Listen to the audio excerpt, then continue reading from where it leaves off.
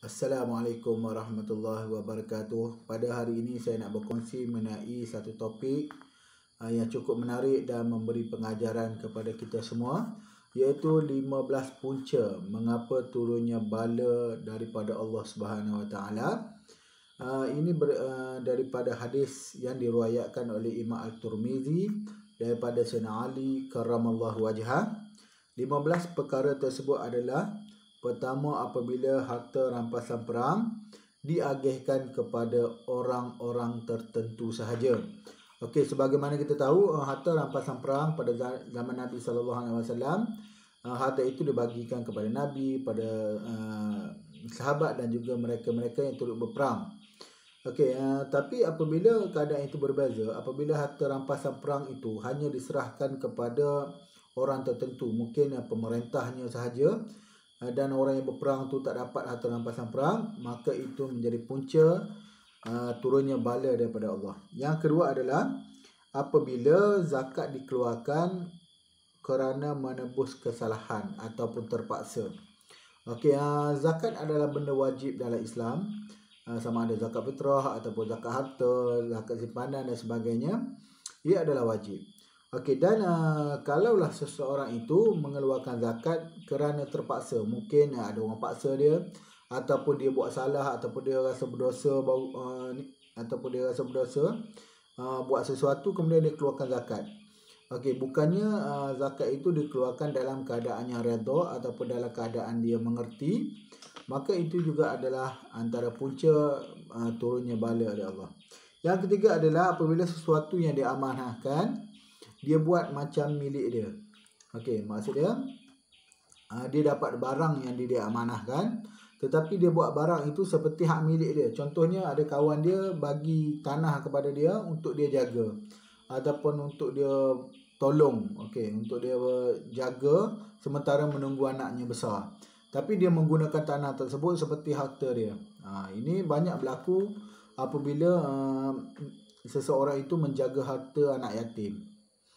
Okey, kemudian adalah apabila suami terlalu mentaati isteri. Okey, ataupun kita panggil dalam istilah yang mudah adalah takut bini lah. Okey, yang seterusnya adalah apabila anak derhaka kepada kedua ibu bapanya. Okey, dan uh, benda ini sebenarnya makin kerap berlaku uh, di zaman moden ini. Di mana kebanyakan anak-anak muda sekarang ini sudah tidak menghormati ibu bapa bahkan boleh capai taraf mendahaka. Uh, dan kebanyakan ibu bapa pula uh, macam uh, takut dengan anak-anak dia. Uh, ini jadi masalah juga. Dan uh, ini antara punca lah mengapa bala turun. Okey, seterusnya adalah apabila seseorang memuliakan teman dia ataupun kawan dia lebih daripada ibu bapa dia. Okey, kita sebagai orang Islam memang uh, pertama sekali adalah Allah, kedua Rasul, kemudian ibu kita dan juga bapa kita. Tetapi uh, ada setengah orang dia lebih suka memuliakan teman dia. Okey, berbanding dengan ibu bapa dia. Dengan teman dia dia melayan dengan baik tetapi ibu bapa dia dia tidak melayan dengan baik. Ha, ini masalah. Okey, kemudian uh, apabila kedengaran banyak bunyi bising. Okey, dekat dunia ni kalau dulu uh, kita banyak bunyi burung, bunyi haiwan dan sebagainya tapi sekarang ni kita banyak uh, bunyi kenderaan, bunyi muzik dan sebagainya bunyi enjin yang terlalu bising. Okey, bunyi yang terlalu bising juga boleh menyebabkan turunnya bala oleh Allah Subhanahu taala. Kemudian ah, apabila dalam masjid ramai orang bercakap mengenai hal keduniaan. Ah, bercakap pasal bisnes dia, bercakap pasal anak-anak dia berbanding dengan bercakap hal hal-hal akhirat. Okey, seterusnya adalah apabila suatu kaum uh, terdiri daripada orang yang dihina oleh mereka. Okey, maksud dia dalam satu kaum tu ada orang yang dihina. Okey, contoh paling mudah untuk faham ialah kita tengok sekarang ni uh, dunia sekarang ni uh, kita ada negara penjajah Israel. Okey, tapi malangnya apabila ada sebahagian daripada geng-geng Arab ni contohnya UAE, uh, Jordan dan sebagainya, dia menjalinkan hubungan yang baik dengan Israel. Bahkan apabila orang Palestin diserang, uh, ditindas dan sebagainya, negara-negara Arab semuanya pekak Semuanya buat tak tahu. Okey, yang banyak membantu kita adalah yang banyak membantu Palestin adalah orang kita, orang Malaysia, orang Indonesia, orang Brunei. Okey, sedangkan negara Arab membisu. Okey, yang ni uh, yang dimaksudkan. Okey, uh, apabila suatu kaum itu terdiri daripada kaum yang dihina. Okey, yang ni mereka yang hina ini bahkan uh, beberapa hari yang lepas uh, delegasi UAE pergi ke Israel dan mereka melawat uh, perumahan-perumahan haram Israel. Okey, seperti rasa bangga pula pergi dapat melawat negara haram Israel. Okey, yang ni adalah orang yang dihina ni. Okey, kemudian uh, apabila memuliakan seseorang kerana tim, takut tindakan buruk. Okey, maksud dia uh, ada tetamu contohnya, tetamu datang, kita melawat, melayan dia dengan baik sebab kita takut dengan dia. Okey, mungkin kita takut dia bunuh kita ke atau takut dia pukul kita ke. Jadi kita pun melayan mereka dengan baik. Sebab takut bukannya sebab uh, tuntutan agama dan sebagainya. Okey, kemudian uh, arak menjadi minuman yang biasa. Okey, uh, dan sekarang ni uh, yang ni dah normal lah.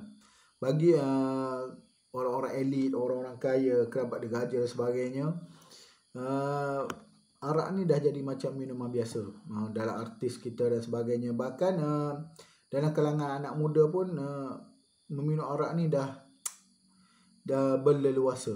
Walaupun tidak terbuka, tetapi memang ada. Okey, itu antara punca lah bala turun.